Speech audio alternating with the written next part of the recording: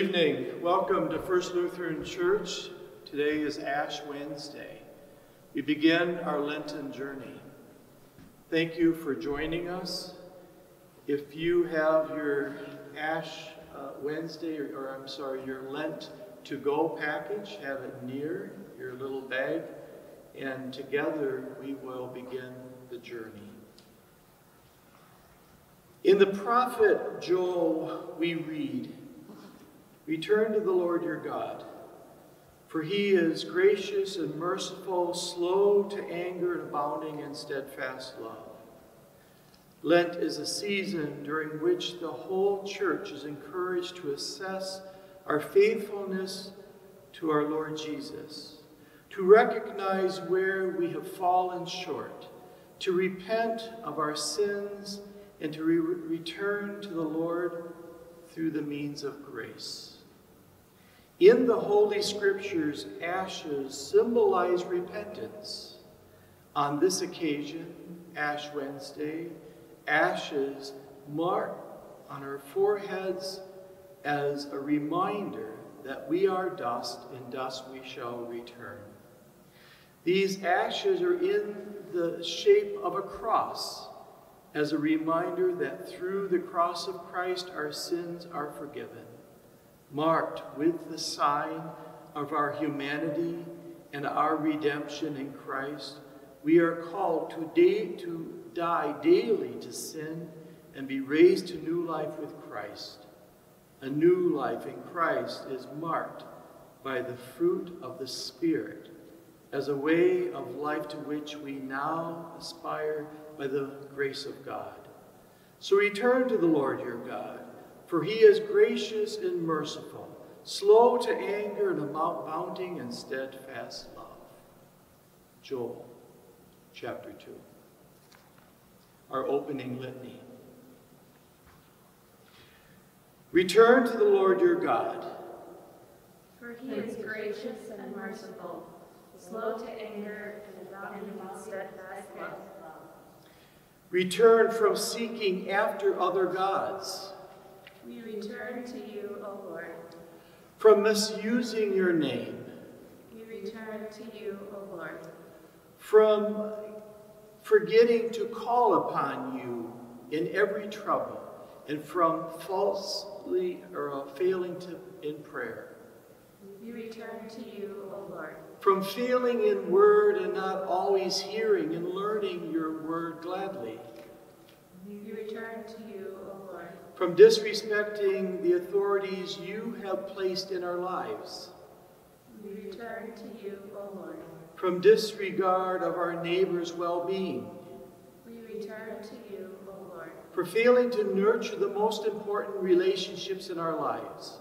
We return to you, O Lord. From the lack of complete honesty towards one another and our failure to help our neighbors improve their possessions and income. We return to you, O Lord. From speaking hurtful words about others and failing to explain our neighbor's actions in the kindest way. We return to you, O Lord. From covetous thoughts and actions. We return to you, O Lord. To your glad, er, to your gracious word of love for us in Christ. We return. To our identity as children of God, baptized in the name of the Father, and of the Son, and of the Holy Spirit. We return. To Christ's body and blood, given and shed for us for the forgiveness of sins. We return. Return to the Lord your God. For he is gracious and merciful, slow to anger, abounding in steadfast love. Let us pray. Steadfast Lord, you remain a solid foundational rock, even when we are shaky and weak. We thank and praise you for your gracious invitation to return to you, not only during the Lenten season, but day by day. We are prone to wander, Yet your love for us never wavers, and you constantly call us to return to you. Bless our Lenten journey. Let it be for us a time of our daily returning to you, that we may be your own and live under you in your kingdom, and serve you in everlasting righteousness, innocent and blessedness through Jesus Christ our Lord, who lives and reigns with you in the Holy Spirit, one God, now and forever. Amen. So in your Lent to Go bag, the very first item in that bag is a little pouch with ashes, a Q-tip and ashes. And this is called the imposition of ashes. So together we, if you may, take your Q-tip with ashes and put on your forehead and say to yourself, dust we are and dust we shall return. Remember that you are dust, and dust you shall return. Remember that you are dust, and dust you shall return.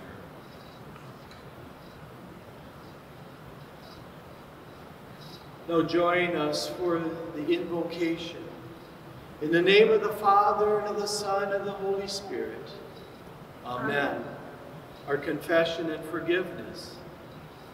If we say we have no sin, we deceive ourselves, and the truth is not in us. But if we confess our sins, God, who is faithful and just, will forgive our sins and cleanse us from all unrighteousness. Let us then confess our sins to God our Father. Most merciful God, we confess that we are by the nature sinful and unclean. We have sinned against you in thought, word, and deed, by what we have done, and by what we have left not loved you with our whole heart. We have not loved our neighbors as ourselves. We justly deserve your presence and eternal punishment.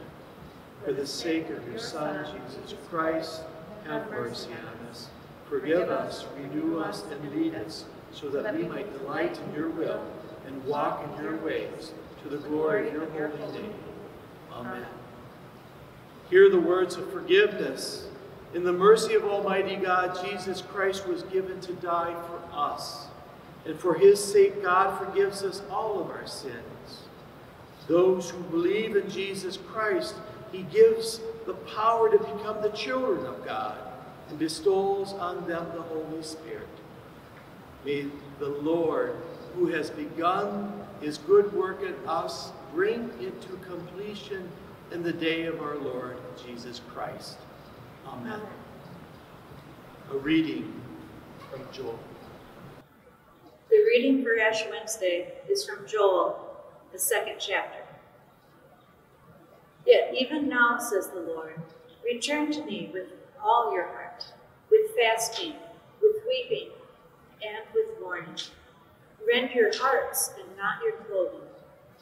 Return to the Lord your God, for he is gracious and merciful slow to anger, and abounding in steadfast love, and relents from punishing. Who knows whether he will not turn and relent and leave a blessing behind him, a grain offering and a drink offering for the Lord your God? Blow the trumpet in Zion, sanctify a fast, call a solemn assembly, gather the people, sanctify the congregation, assemble the aged, gather the children, even infants at the breast. Let the bridegroom leave his room, and the bride her canopy.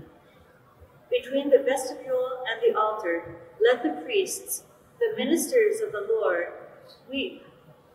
Let them say, Spare your people, O Lord, and do not make your heritage a mockery, a byword among the nations. Why should it be said among the peoples, Where is their God?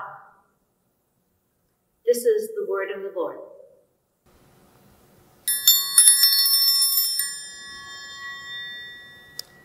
When a teacher rings a bell like this in a classroom, that is usually a sign to get quiet and listen. Sometimes bells like this or giant metal triangles are used to call farmers or ranchers home for lunch or dinner. Many churches have larger bells to call people to worship Jesus. It is good for children to get reminders from their parents to come home. It is even better for all of us that God calls us to come to his house to worship him. In our Bible reading today, the prophet Joel is like the bells. God's people had turned away from God. God uses Joel to tell the people that they need to return to God. Their minds were not thinking about God and his good gifts. They did not love God with all of their hearts. God wants to have a better relationship with all his people. To God, we are like family. Today is what we call Ash Wednesday, and many churches, like us, are placing black ashes on our foreheads. This is a reminder that we have turned away from God by sinning. But the ashes are in the shape of a cross. This reminds us that God is gracious and merciful, slow to anger, and abounding in steadfast love. So let's say that together. So repeat after me God is gracious and merciful, slow to anger, and abounding in steadfast love. Our God loves us so much that he sent his son Jesus to die on the cross for us. God calls us back to him by giving us Jesus. This is how God shows his love for us. Even though we sin, God calls us to come back to him. He reminds us we are baptized. We have God's name placed on us. We belong to him. We are a part of God's family. We are always welcome and always encouraged to come back to Him. And we can even encourage one another to come back to God. So we're going to pray, and please repeat after me. Dear God, Dear God, thank you for making us a part of your family. thank you for making us a part of your family. We are sorry We are sorry when we don't think about you. when we don't think about you. We are sorry We are sorry when we don't love you as we should. when we don't love you as we should. Thank you for calling us back to you Thank you for calling us back to you and for reminding us and for reminding us that we belong to you. that we belong to you. In Jesus' name we pray. In Jesus' name, we pray. Amen. Amen. Our Holy Gospel reading for this evening comes from the Gospel of Matthew, the sixth chapter. Glory to you, O Lord. Jesus is teaching about how to follow him. He says, Be aware of practicing your piety before others in order to be seen by them, for then you will have no reward from your Father in heaven. So when you give alms, do not sound a trumpet before you, as the hypocrites do in their synagogues and on the streets, so that they may be praised by others. Truly I tell you, they have received their reward. But when you give alms, do not let your, let your left hand know what your right hand is doing, so that your alms may be done in secret, and your Father who sees in secret will reward you. And whenever you pray, do not be like the hypocrites, for they love to stand and pray in synagogues and at street corners, so that they may be seen by others. Truly, I tell you, they have received their reward. But whenever you pray, go into your room and shut the door and pray to your Father who sees in secret, and your Father who sees in secret will reward you. And whenever you fast, do not look dismayed, dismayed like the hypocrites. For they disfigure their faces so that they can show others that they are fasting. Truly, I tell you, they have received their reward. But when you fast, put oil on your head and wash your face, so that your fasting may be, may be seen not by others, but your, fat, but your Father who is in secret, and your Father who sees in secret will reward you. Do not store up for yourself treasures on earth, where moths and rust consume, and where thieves break in and steal. But store up for yourselves treasures in heaven, where neither moths nor rust consume, and where thieves do not break in and steal. For where your treasure is, your heart will be also. The Gospel of the Lord. Praise to you, O Christ. Grace and peace to you from God our Father and from the coming and living Jesus Christ, our Savior and Lord. Amen. Today is Ash Wednesday, the beginning of our Lenten journey, and our theme for this year is Return to the Lord. For this evening, for this first week, our theme is called A Call to Return. And it is based on Joel the story of Joel. Joel is a prophet. And he gives this dark, terrifying image of these locusts that will consume the countryside. And this is the Lord speaking to Joel as Joel prophesies and tells the people that if they don't turn in their way and turn from their sinful nature and return back to God, this is what might happen to them. We know that locusts will consume the plants and the trees and the crops and wipe out their livelihood and their economy. It's a plague. We know what plagues can do. Now, we're not sure if this is true or if it was a, just strictly a warning, but nevertheless, it's a call to come back to the Lord. Maybe we all have our own things that we can be called back from. We've gone astray. But this Lenten journey is designed and set up for us to walk with Jesus to his death and resurrection and new life as we contemplate the call back to our Lord. So today, as I mentioned, our, the theme, the title is A Call to Return. And then now next week, in again in your Lenten bags, your Lent to go, you'll find a call to return to prayer. And then the week after, uh, return from betrayal, a call to return from false witness, a call to return from denial, a call to return from return to the kingdom of God, a call to return to the table of our Lord Jesus a call to return to truth, a call to return to church. And then on Easter Sunday, a call to return and see what God has done for you.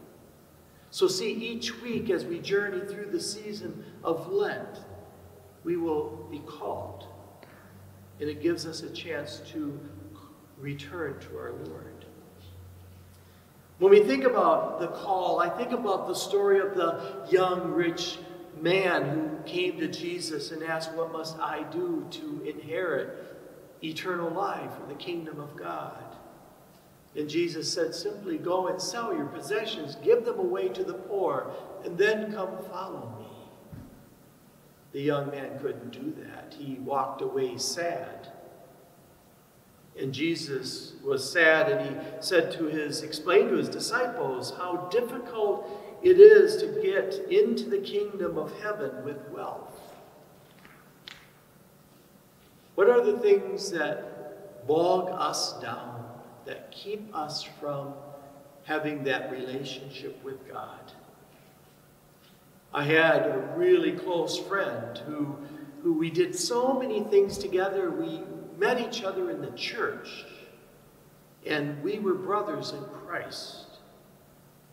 And then he got caught up in a pyramid scheme and tried to get me to follow him in the scheme and in, uh, in kind of uh, buy in to this way of thinking to make money on other people that I could work my way up to the top of the pyramid.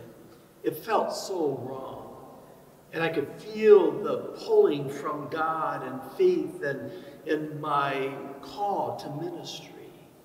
But to the call was to wealth and to be wealthier. And I was told I would be happier. And I was told that I could do more for the church because of this new wealth. And God called me away from that. And I lost that friend, and that friendship severed. But thank goodness I was able to return to the Lord, who is gracious and loving and kind and abounding in steadfast love. So God extends this invitation to us, friends, calls us away from the things that distract us from God. Maybe it could be the things of the world today, the political circus, or the pandemic and vaccine, and, and maybe just, I don't know, just being tired of long, cold winter. But let this be a, a, a renewal for us that we can set our eyes to a loving God who's calling us and begging us to come closer in a relationship with Him. That we can walk towards the cross of Christ, that resurrected Jesus, and offer that new life, eternal life with God in heaven. I'm excited about this journey that we can take together. And it begins the first step today. So as Joel extends to his people, Joel extends to us. Return to the Lord. God is only loving. God is only caring and kind, slow to anger and abounding in steadfast love. Receive the invitation. Come along. Follow Jesus. Let us pray. Let us pray for the church, the world, and all people who are in need. With repentance hearts, let us turn to God in prayer.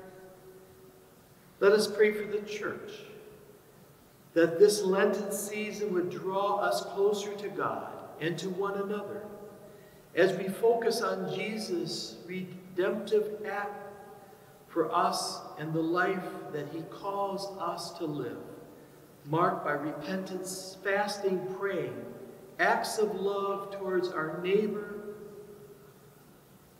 Let us pray. We return to you, O Lord.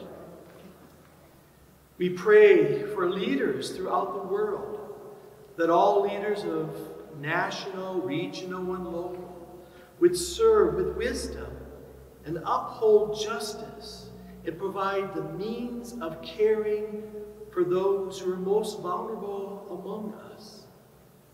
In prayer, we return to you, O Lord.